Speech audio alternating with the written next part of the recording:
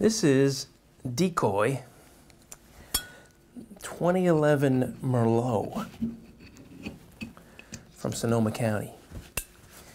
Um, of course, Decoy is uh, made by Duckhorn. It's, I guess, call a second label.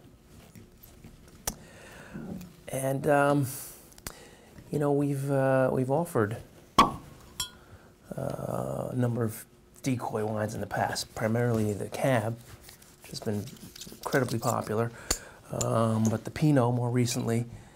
And this is the first time we're bringing out the Merlot. Um, I guess I'm, I feel like that's a little bit odd since Duckhorn, what are they known for? They're known for Merlot. So this would, to me, seem to be the go-to wine in the decoy line. Um, they, uh, they blend in about 10% uh, cab and another little bit of, um, I think, Petit Verdot. But uh, 85, 86% Merlot. They age it in French oak barrels, 100% French oak for 12 months. And they use about a quarter new oak. So they're handling it uh, you know, very much like you would uh, a very good quality Sonoma or Napa Merlot. Hmm. Wow, really nice nose on this.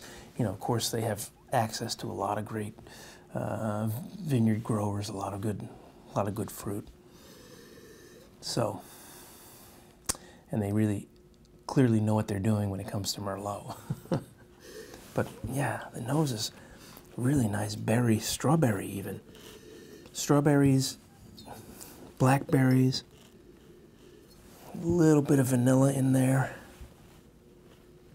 Mm. It's really kind of nice and ripe. Let's taste it.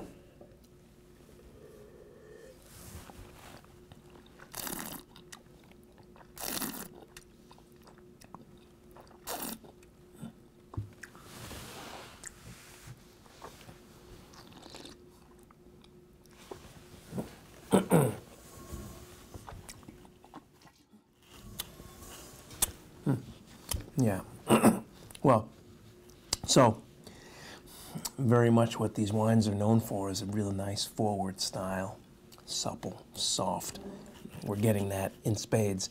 Um, nice fruit, cherry, strawberry, hints of uh, maybe blackberry, a little bit of vanilla.